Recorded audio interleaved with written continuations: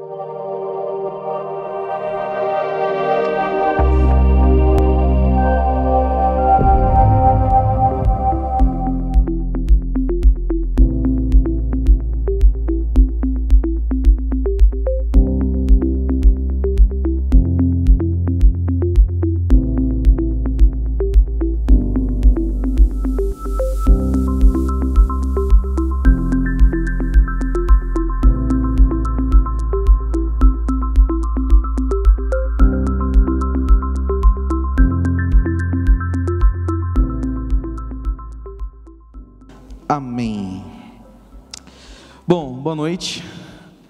Quem não me conhece, eu sou o Felipe. Prazer. Eu cuido junto com os meninos aqui da comunicação da casa. E é com muita alegria que eu estou aqui hoje junto com a minha esposa, tendo a oportunidade de estar compartilhando algumas coisas com vocês.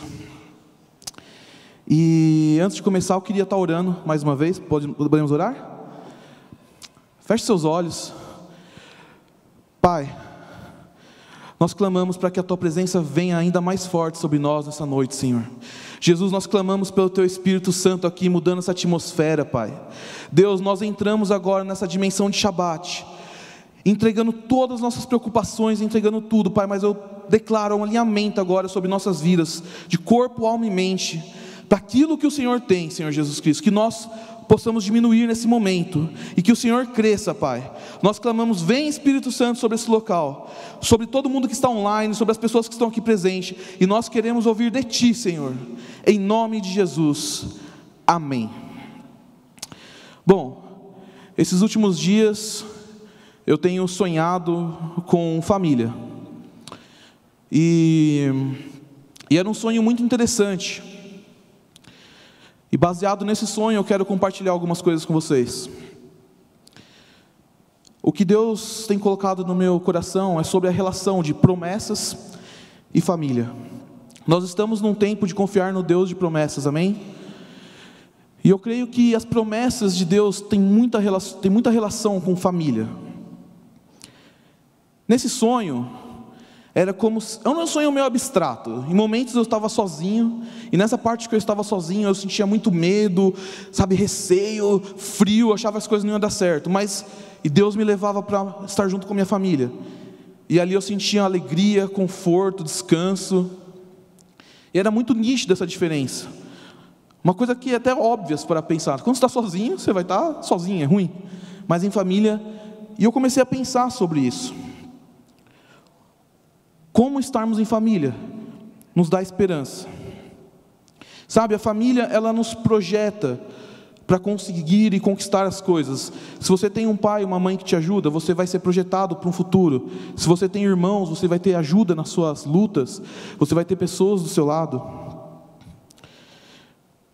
Família é algo muito importante que nos ajuda e, sabe, você não vê um. Eu não estou falando só de família natural, carne e sangue. Às vezes, família, pessoas que você convive diariamente, que são mais chegados que um irmão. Família te dá uma estrutura, uma proteção. E você nunca vai ver um soldado feliz de estar sozinho numa guerra. Sabe, um soldado sozinho numa guerra provavelmente vai sair, vai tomar um tiro e já era. O soldado ele tem que estar sempre junto, ele tem que estar sempre protegido. E Deus me trouxe a memória sobre um assunto que eu já tinha estudado bastante, e era uma técnica, na verdade. Estamos falando de soldado, estamos falando de guerra. E na Segunda Guerra Mundial, não vou ser muito historiador, nem falar muita coisa que eu também nem conheço muito profundamente, mas eu queria compartilhar sobre uma, uma tática que a Alemanha usava. Era uma tática chamada Blitzkrieg. Ó, oh, que nome bonito, hein? Blitzkrieg. Credo. e o que, que era essa, essa estratégia, essa técnica de guerra? Ela envolvia em fazer penetrações nas linhas de defesa inimiga. Qual que era a ideia? Você tinha toda uma fronteira sendo protegida, e você, em vez de atacar toda a fronteira junta, não, você projeta o ataque num ponto, isola esse ponto e faz uma linha de penetração. E nessa linha de penetração eles conquistaram a Polônia, conquistaram a França rapidamente, conquistaram a Holanda, foram conquistando quase toda a Europa.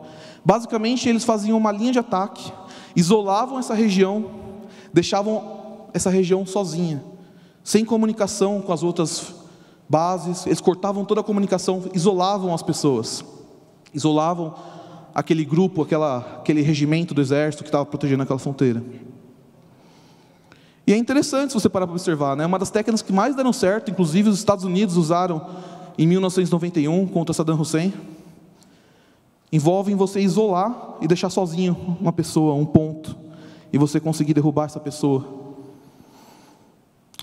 É interessante que na Segunda Guerra Mundial, é, um país conseguiu segurar esse ataque da Alemanha, foi a Rússia. E vocês devem conhecer um, um pouco assim as brincadeiras que existem, né? Porque família russa é uma coisa muito unida. Então, a Rússia contou com diversos fatores para conseguir segurar esse ataque alemão. Mas uma das coisas mais interessantes é que foi numa época de inverno. E por tradição familiar, os russos sabiam aguentar um inverno sozinho.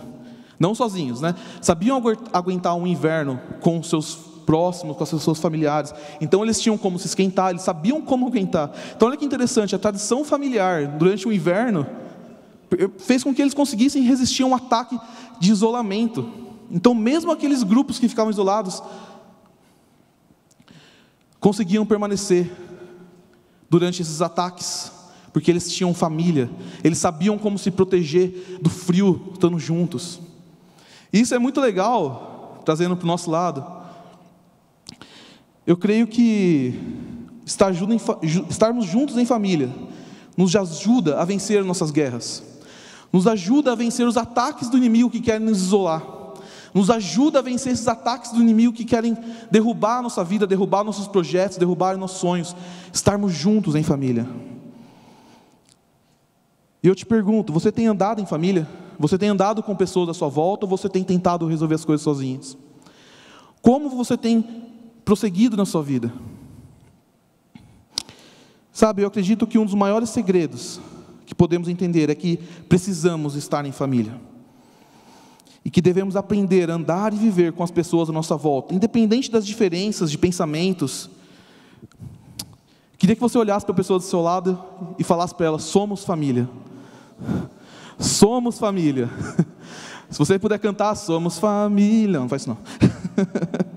Mas é verdade, somos família, galera. E eu queria colocar isso no seu coração hoje, que nós somos família. Nós juntos vamos vencer qualquer ataque que venha contra a nossa vida. Não é sozinho que você vai vencer, não, mas é pedindo oração. É chegando junto, meu irmão, ora por mim. Somos família. Família vence qualquer ataque do inimigo contra a vida, a nossa vida. Qualquer estratégia, não importa qual seja a estratégia, o inimigo sabe o seu ponto fraco. Ele tem um ataque de blitzkrieg certinho para a sua vida, mas em família você é protegido, você é guardado, você é blindado. Amém?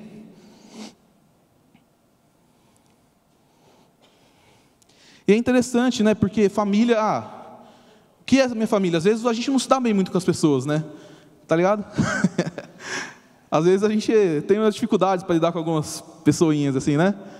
Mas é interessante que às vezes essa pessoa que você menos dá uma moral, às vezes tem algo para entregar na sua vida, às vezes tem algo para despertar. E eu creio que você está em família, liberta, libera essas promessas de Deus na sua vida. Eu tenho um testemunho Há uns seis anos atrás, eu conheci um menino, era um abençoado. Esse menino, ele era novinho, ele tinha uns 15 anos, e o pessoal tirava muito sarro dele, mas tirava muito sarro. Porque ele era meio chatinho, assim, sabe? Colava junto com todo mundo, é, e ficava falando e falando e queria mostrar as coisas que ele tinha. Ah, eu tenho isso, e ninguém dava muita moral para esse menino. E aí o Espírito Santo, sei lá o que foi, porque eu nunca gostei, né? Eu pego super mal quando alguém, você não dá uma chance para conhecer a pessoa primeiro. E eu cheguei junto nesse menino, e a gente estava em algumas produções, né? Que eu trabalho com gravações de vídeo e tudo mais. E eu cheguei junto nele e chamei, meu, vem cá, deixa eu te ensinar, vai. E fui, pouco a pouco, ensinando ele, ajudando ele, dando uns toques nele. O legal é que depois de um ano e meio, mais ou menos, nessa pegada, eu tinha rompido um contrato com uma prestação de serviço que eu fazia. E esse menino que ninguém dava uma moral, chegou para mim: Você não quer fazer uma entrevista com meu pai? Eu olhei assim, falei, nossa, se for igual a ele, eu estou bem suave, estou bem, né? E eu falei, claro, vamos lá, vamos embora. E o pai dele era um cara muito importante, resumindo, é, é um cara muito importante, inclusive, um cara de recursos, é uma pessoa muito influente. E eu fiquei três anos trabalhando com esse cara, porque um dia eu decidi me aproximar e ser família de um menino. E é engraçado que ao mesmo tempo que eu protegia ele de pessoas que às vezes poderiam estar querendo zombar dele alguma coisa, ele destravou um destino para minha vida. Eu queria te liberar essa palavra também, para você começar a dar oportunidade para as pessoas se aproximarem de você e você se aproximar das pessoas. Abrir seu coração e ajudar, porque às vezes você vai estar protegendo alguém e às vezes essa pessoa vai estar protegendo você. Às vezes você vai estar liberando o destino de alguém, as promessas na vida de alguém. E às vezes essa pessoa vai ser um caminho, um canal para que você seja abençoado, para que as promessas de Deus cumpram na sua vida. E de fato foi isso que aconteceu. Então compartilho algo que eu vivi. Eu creio que você pode viver também. E tem uma coisa que é muito séria nisso. Às vezes sozinho você consegue conquistar coisas também. Eu sei disso. Quantas histórias a gente não conhece de pessoas que foram lá, venceram, conquistaram. Mas, cara, o mais legal de quando você conquista alguma coisa, quando você chega lá em cima, ou quando você tem um sucesso, é você compartilhar a sua felicidade. É você compartilhar com as pessoas. Meu, por exemplo, eu e minha esposa, a gente tem conquistado algumas vitórias, como ela estava contando. Cara, como é legal a gente poder convidar uma pessoa para estar junto com a gente, pagarmos um jantar, compartilhar a felicidade e a alegria. A palavra fala que nós seremos conhecidos pelo amor. E eu creio que você compartilhar a felicidade envolve você estar junto com pessoas, junto com família, e estar tá liberando o amor de Deus. Eu tenho mais uma, um testemunho. Recentemente, a comunicação aqui do MCI tem recebido algumas ofertas é, para a questão de equipamentos e tudo mais. E é interessante porque as coisas começaram a acontecer através de relacionamento, através de família.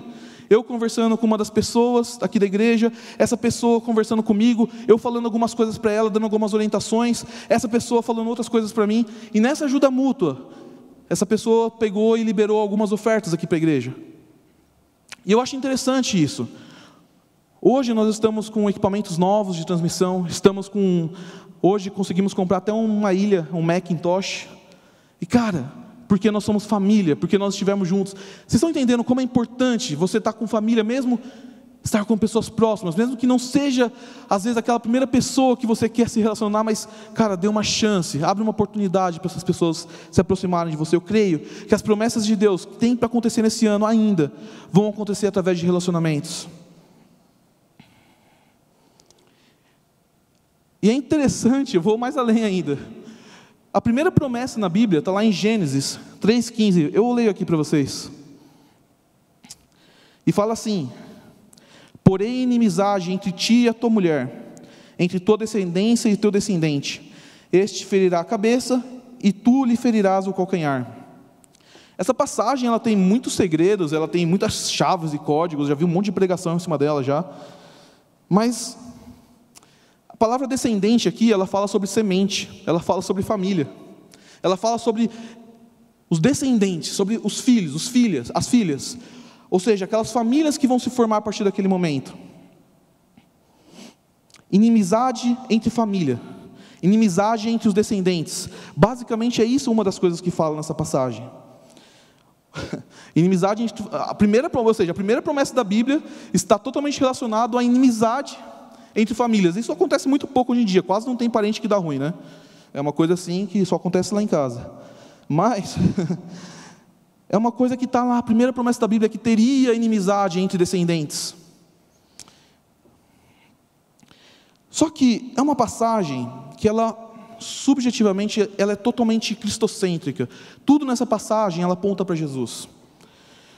Essa passagem ela tem vários códigos, e esse que aponta sobre Jesus é o nascimento dele, o sofrimento na cruz e finalmente a vitória, que é onde Jesus ferirá Satanás. Ou seja, Jesus vai trazer o conserto nas famílias. O que Deus coloca no meu coração é que nos próximos dias você vai ter oportunidades de colocar Jesus como centro na sua família também. Sabe, você vai estar nos próximos dias junto com sua família, com seus parentes. E a primeira promessa da Bíblia que fala justamente sobre essa discórdias, essas feridas em família, entre descendentes. Eu creio que Jesus entrando na sua casa através de você, você vai ser uma porta, um canal para que Jesus se torne o centro da sua família, para que Jesus venha trazer transformação na sua casa, no seu lar, nos seus parentes, onde você estiver nos próximos dias. Eu creio que é uma estação onde as promessas vão se cumprir sobre a sua família, através de Jesus sendo o centro. Jesus vai ser o centro da sua casa nos próximos dias, amém? E isso envolve, esse relacionamento com famílias envolve muita questão sobre nossos pensamentos. Quer ver uma coisa que pega muito mal comigo? É a pessoa chegar assim e já começar a falar de outra pessoa. Nossa, Deus. Eu fico doido com isso. A pessoa nem conhece, já começa a falar, nossa, aquele irmão lá, ah, ah, ou aquela pessoa lá de fora, não sei o quê. Cara, eu pego muito mal.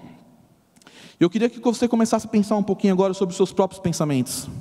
O que você tem pensado das pessoas?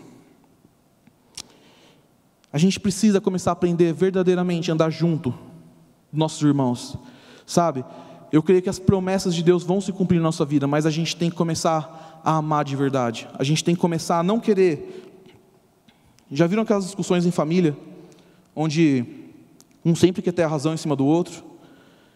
Principalmente quando entra em política, né? Nossa Deus.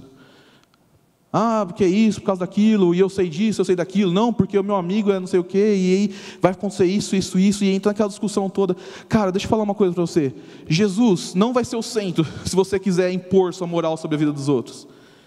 O que você precisa entender é que não é os seus princípios morais, não é a sua ideologia, não é os seus dogmas que vão fazer Jesus entrar na vida do seu parente. É você ser Jesus aqui na terra. É deixar Jesus fluir através da sua vida. É nessas próximas festas que você vai ter para comemorar, você ser aquela pessoa que mais ama, não ser aquela, aquele parente que fica falando alguma coisa, não, ser aquele parente que vai falar, ele está errado, mas ele vai se consertar, Jesus vai entrar na vida dele, começar a orar e saber que Deus vem para mudar a vida dos seus parentes nos próximos dias, Deus vem para mudar a sua vida, para que não seja você o dono da verdade, mas que a verdadeira verdade, Jesus, flua através da sua vida para os seus parentes, para as suas famílias, para os seus familiares. Aleluia. Neste Shabat eu quero falar para vocês das promessas e das famílias. Quando Jesus é o seu centro, quando você está em família, as promessas são ativadas sobre a sua vida.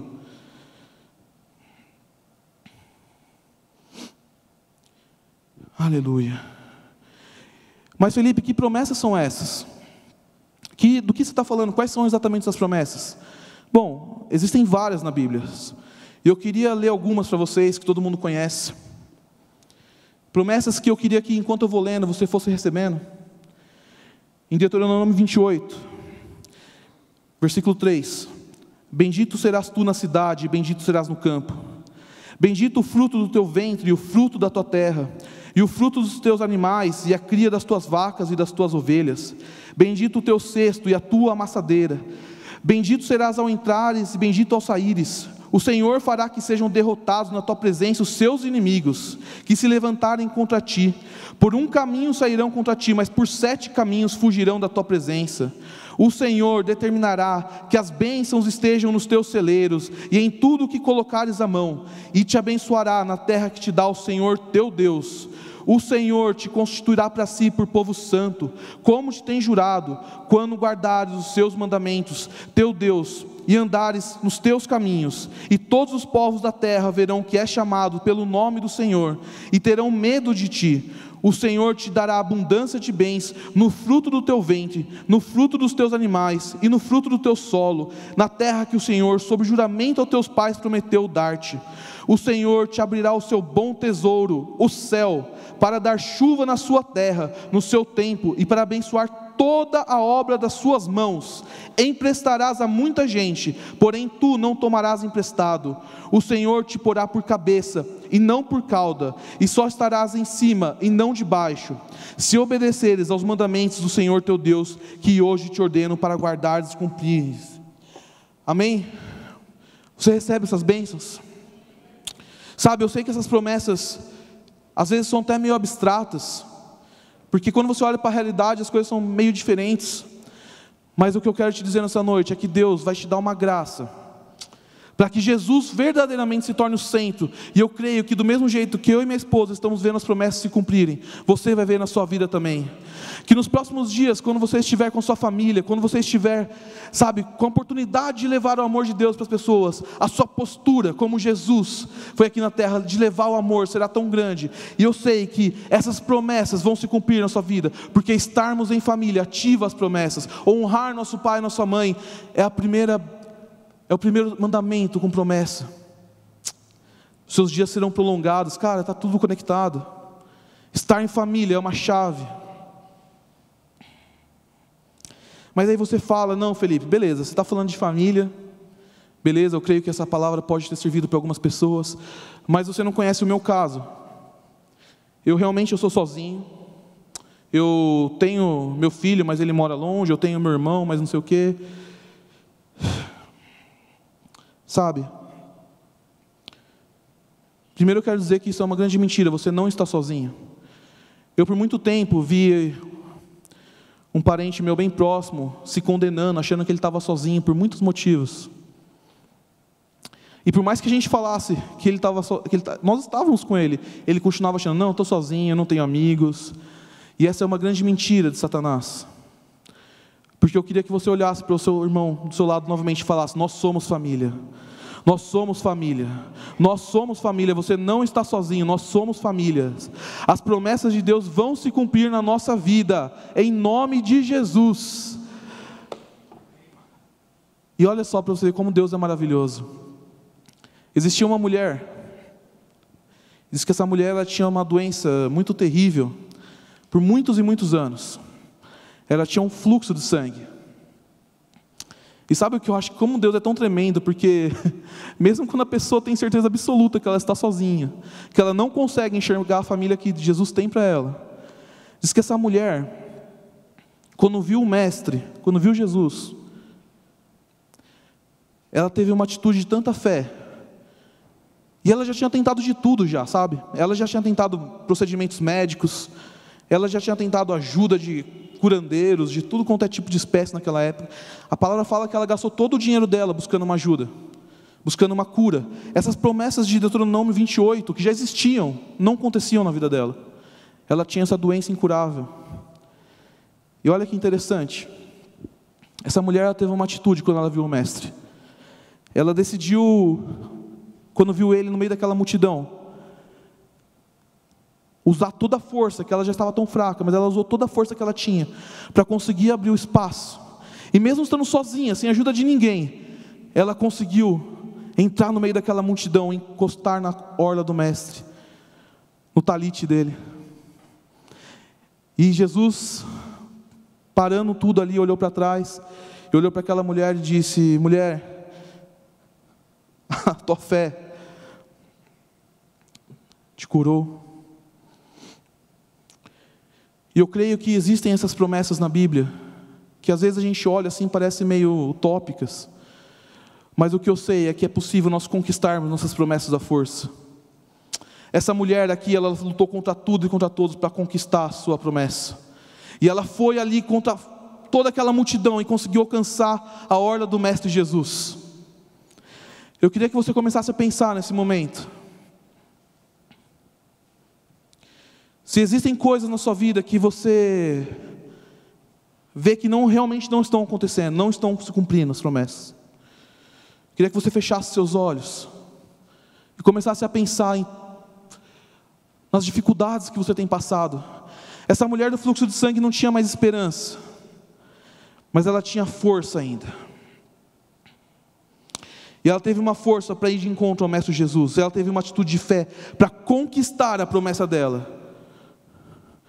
O que eu sei é que a graça de Deus vai vir sobre a sua vida, meu irmão. A graça de Deus vai vir sobre a sua vida. Para que você venha conquistar as promessas que ainda não se cumpriram. Eu não sei se você já se enxerga em família, ou se você está se sentindo sozinho, como essa mulher esteve se sentindo. O que eu sei é que nessa noite, nesse Shabat, Deus quer te dar um descanso, para que você realmente alcance suas fé, as suas promessas. Sabe, as promessas só são alcançadas na Bíblia pela fé. Se você tem alguma promessa na sua vida que não se cumpriu ainda, se você tem alguma doença, alguma doença que não foi curada, se você conhece algum parente que não está vendo acontecer a promessa de Deus na vida dela, eu queria convidar a igreja a se levantar, para estarmos orando nos próximos minutos. Se a banda puder subir aqui já, para a gente estar tá tocando. Se você tem algum parente que você quer ver nos próximos dias alcançando o amor de Deus, se você quer ver a transformação nos seus parentes nos próximos dias, se você quer ver o amor de Deus tocando no coração, mesmo que você não esteja junto com as pessoas, se você se sente como essa mulher que estava sozinha, mas conquistou com fé a, a promessa dela, seja um trabalho, seja uma cura, nessa noite que Deus coloca no meu coração, é que sim, você está em família, e sim, as promessas de Deus vão se cumprir na sua vida. Cheio. Espírito Santo, vem sobre nós, Pai. Ei, Rei, nós te chamamos nesse momento, Pai. Ei. Eu quero que você comece a vislumbrar o Rei Jesus passando. Jesus, palavra fala que o Senhor é fiel, o Senhor é fiel, o Senhor é fiel. Oh, para cumprir todas as palavras em nossas vidas. Santo. Começa a falar agora. Pode falar baixinho. Começa a falar agora para o seu mestre, porque ele está aqui, ele está aqui. O rei está aqui. Cheio, cheio. Oh, Santo Deus. Começa a falar para Jesus, Pai. Alcança, alcança, Senhor Jesus. Alcança meus parentes que precisam de Ti, Jesus. Oh. Pai, a Tua palavra fala que os meus celeiros serão abençoados, Pai. Senhor Jesus, nesse momento eu toco em Tuas vestes, Jesus. Eu quero que pela fé agora, irmão. Eu quero que você encoste em Jesus nesse momento porque Jesus te ama tanto e Ele quer entregar as promessas dele na sua vida. Ele vai fazer cumprir na sua vida. Ei, Espírito Santo. Sabe, eu estava orando sobre esse culto e eu vi uma mãe que já achava que tinha perdido o filho, já sabe? O que Deus me mostrava é que esse filho seu Deus mesmo está cuidando dele. Eu não sei se é o seu caso, mas eu via como se fosse uma mãe já triste, achando que o filho não ia ter, não ia ter salvação. Mas o Mestre, o Rei Jesus, está vendo a sua fé, está vendo a sua oração nesse momento. E Jesus está alcançando o seu filho, Jesus está alcançando o seu filho e vai trazer ele de volta para a cruz, vai trazer ele de volta para a salvação. Chore na Oh. Eu, eu sinto como se fossem pessoas que tivessem vendo pessoas que têm problema de saúde e um parente próximo seu está com esse mesmo problema de saúde. E você está olhando para as pessoas que morreram por causa dessa doença. Mas o que o Mestre está dizendo nessa noite é que a cura vem sobre a sua casa, a cura vem sobre a sua família. Cheira, sabe, nós temos enfrentado uma doença que é o câncer muito forte nos parentes próximos. Mas eu sinto que você está olhando para o lado errado. Eu vejo uma promessa se cumprindo hoje na sua vida, um descanso do Senhor vindo, para que você sinta paz, para que Jesus cure o seu parente, cure o seu parente. Oh Deus. Eu sinto que tem pessoas preocupadas em específico sobre a questão de câncer. Oh. Mas o irmão, toque hoje na, na ordem do Mestre Jesus. Jesus está trazendo a cura para o seu lar. Jesus está trazendo a cura para a sua casa. Jesus está trazendo a cura para os seus parentes e salvação. Em nome de Jesus.